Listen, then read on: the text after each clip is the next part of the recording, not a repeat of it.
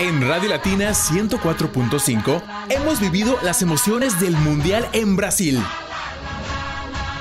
El domingo 29 de junio, Nelly Zanoja y el equipo de Radio Latina estuvieron presentes en la Quinta Grill para presenciar el partido entre México y Holanda.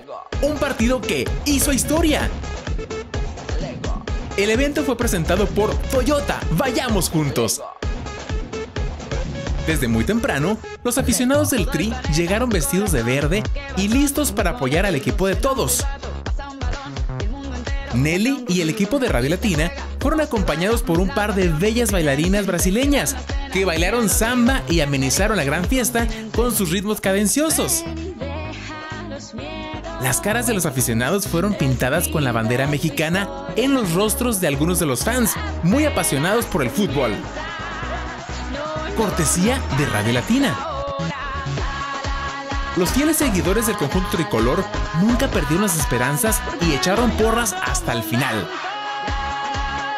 Lamentablemente, el marcador final no fue a favor de México, pero todos los presentes se divirtieron a lo grande en la Quinta Grill con Toyota. Y efectivamente, no era penal.